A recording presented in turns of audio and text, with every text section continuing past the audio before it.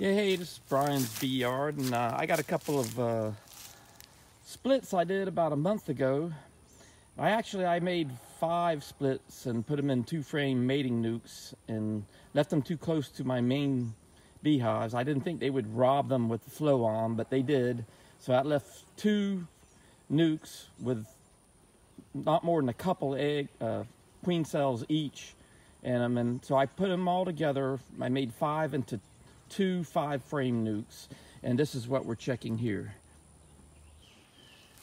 Okay, so here's my uh, first nuke, the pink one. And yes, I know that bees don't see the color red, so maybe it appears a grayish color to them. But I set this up so I can uh, differentiate between the nukes. And some colors are good colors for bees, and some I just had to make do with what I had. So anyway, I'm gonna pull this first frame off from the side. And I got a lot of faith in this one as being with the queen and being queen right because I had um, lots of bees flying in and out going for the pollen. These are all drawn out.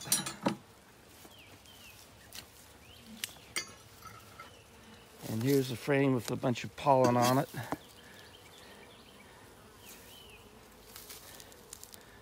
I'm looking for eggs.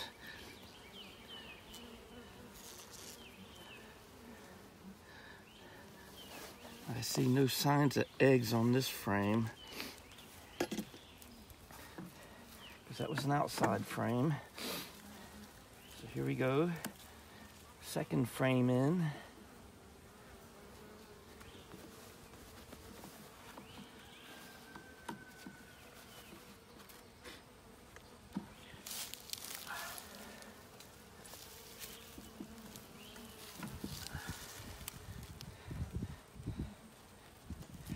Second frame in, I see a lot of nectar.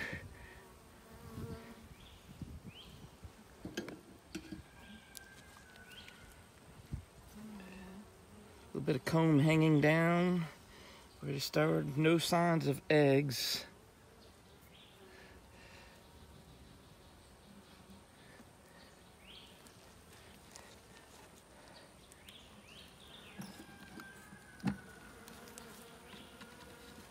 If these hives turn out queenless, then I'm going to uh, pull a frame of larvae and eggs and such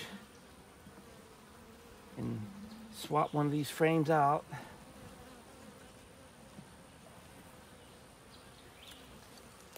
So this one's drawing comb off the bottom and I see eggs. So I don't know if we can see it on the camera or not. So this is a queen right hive. It's got eggs in the bottom of the cells. I see eggs laying down there, and nothing capped yet. This has been exactly one month. There's the queen. I got the queen right here. You can see it on the camera. I'll point her out. She's at the end of my frame grabber. We have a queen right hive, and here's a caramel colored queen. Very nice. So right now I'm going to put this down and go ahead and I'm going to start transferring these girls into a eight frame hive body. So I'll pause the camera.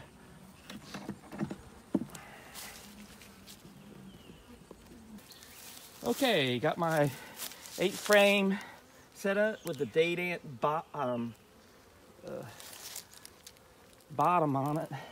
And I'm gonna set the first frame end, it had nothing going on, except a little bit of pollen. And then on my second frame, which had nectar, and I'm most likely gonna just end up discarding the comb that they drew on the bottom, they're real delicate.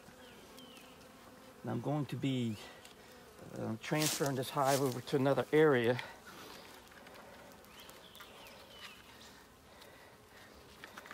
I think I'm gonna leave the queen bee as far as marking her now.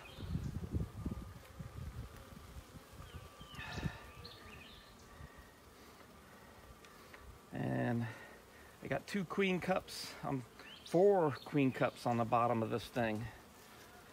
It's like they're getting ready to do something they're just getting established. Maybe the bees were just being ready in case they uh, they didn't like us queen. And my hive tool.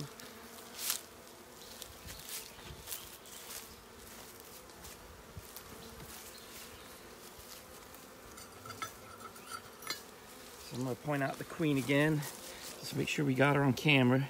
Right there at the edge of my hive tool. Very calm. I'm really happy with the way these bees are acting right now. Of course, with a smaller hive, they usually start out that way, and then if they're going to be more uh, defensive, we won't use the A word, which is aggressive, then they um, they tend to get that way later on. So here's another here's another frame with comb drawn on the bottom. I see lots of larvae at different stages, eggs. I love this black foundation. It makes it real easy to see what's going on. And we're going to take this bottom piece off. It's a shame I have to waste this, but like I said, I could reuse it if I wanted to.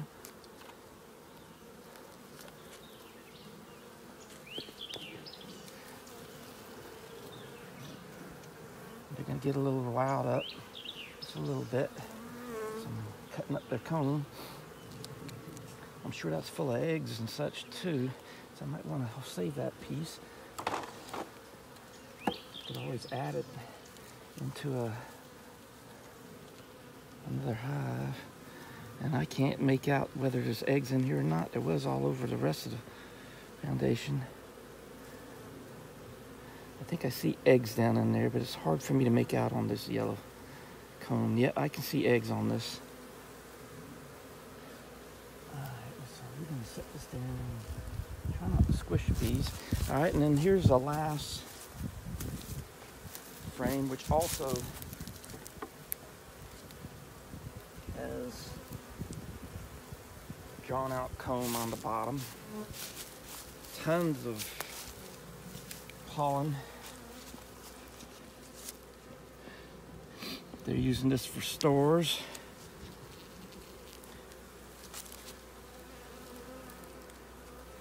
And is so fragile, it's wanting to fall off without me doing anything, just tilting it to the side, which I'm all right with.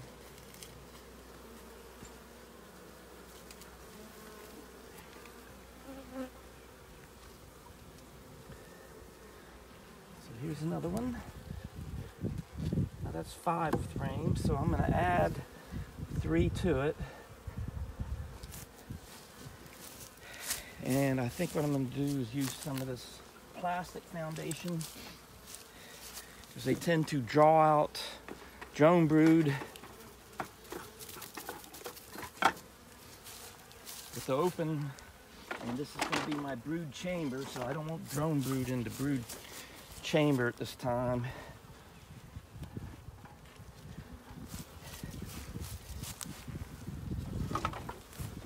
Some more of that black foundation plastic foundation had a lot of luck with it. Like I say it's easier for me to spot the bees. I have good vision clear vision. I guess if I had a flashlight or something to shine down in it it would help but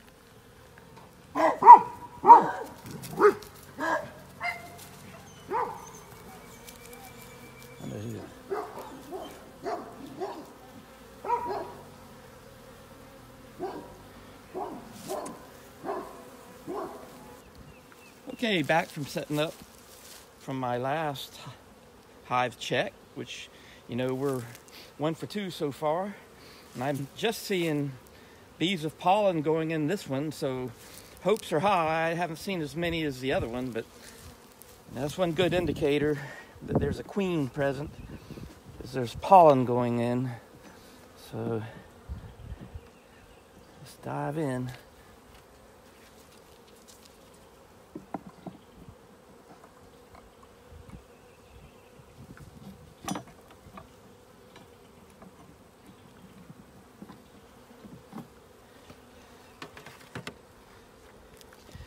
Okay, here's a deep with nothing at all in it, old pollen. It's pretty much no good, needs to be cleaned out. Another side, not being used. I'd like to cycle out from my deeps and use just mediums on my hives.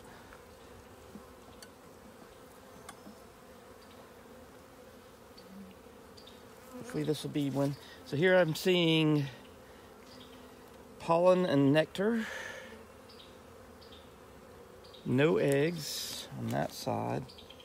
Nothing at all on this side. This is a nice clean medium foundation. Black, so it's easy to see.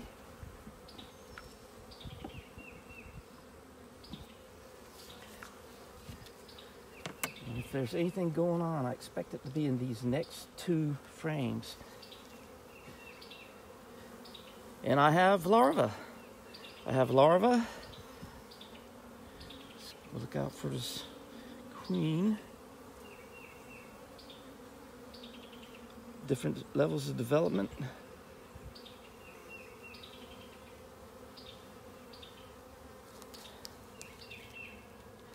larva on this side also.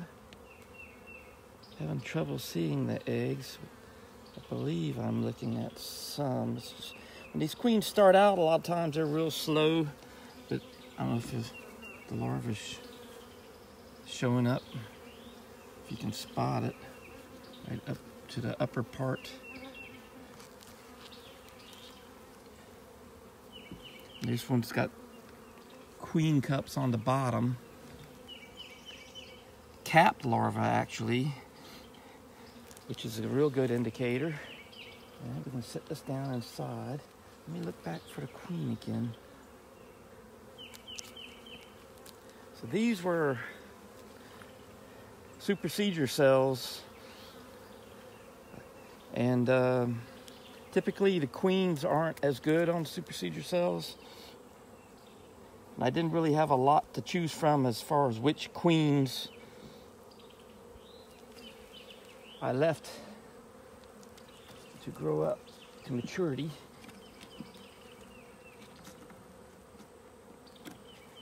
These, uh, okay, bunch of larvae, eggs. I see single eggs, which is showing that, yes, this is all, I mean, it, I obviously have a queen in this one, so we're two for two. It'd be nice if I could spot her. So these girls are going to move up to an eight frame medium today also.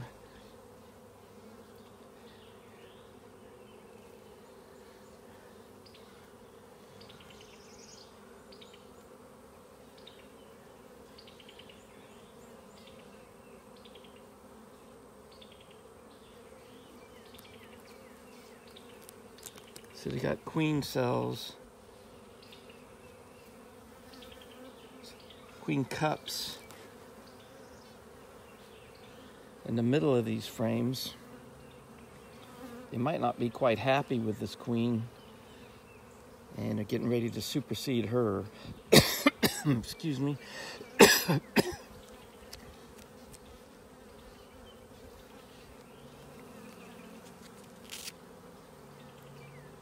Eggs and larvae on this side. Seems like she's doing good.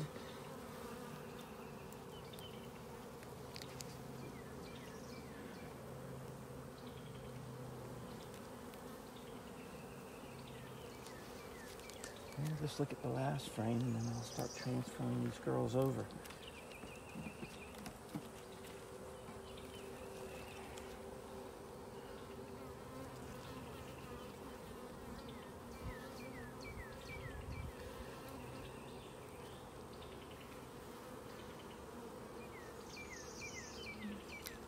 Here's some cells that I believe were from when I initially put this in it didn't quite work out. I see some shriveled up. There's still cap, they're kind of opening, look, see what's going on inside there, but they haven't cleaned it out yet. There's pollen and nectar on that side. Okay, this is looking pretty good. A little slower developing than the other hive, but I'm gonna go ahead and go pick up another one of my eight frame mediums and we can transfer these girls over. Okay, so I got my eight frame medium set up on my Dadant screen bottom board, which this one also is, uh, you can put oil in a plastic tray. And I'm transferring these ladies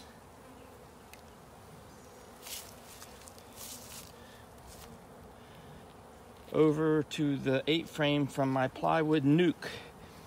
I got these uh, nuc plans from Beesource. They're real easy to make. Anybody with a table saw can make them. And uh, if you have need of a nuke,